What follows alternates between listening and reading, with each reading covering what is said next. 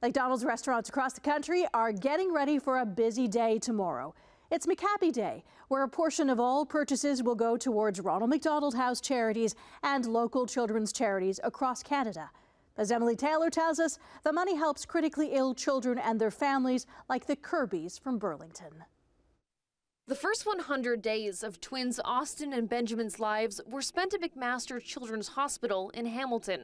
It was an emergency delivery, and the boys were born at just over 27 weeks, 27 weeks and three days, and 770 and 780 grams, the two of them.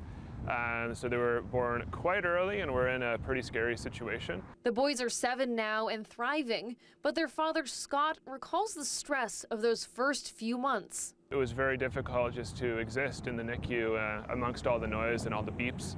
Uh, so it was, um, it was a hard experience to get through.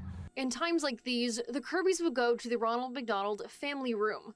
There's 150,000 visits to the room each year. It felt like a, a, family room in your home. It was comfortable, it was peaceful. Um, you were away from all the noises of the hospital and just felt like an escape.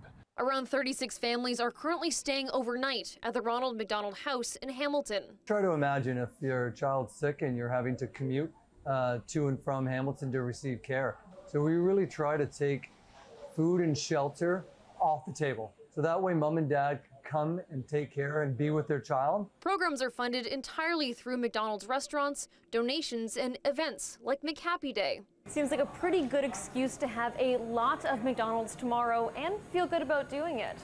And it seems the CEO of Ronald McDonald House agrees. Yeah, oh, McHappy Days are such a fun day. Uh, it's truly a, a, great expression of community spirit.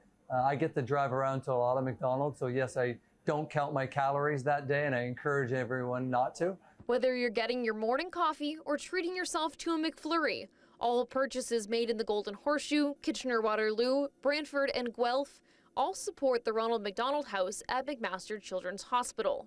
Emily Taylor, CHCH News, Waterdown.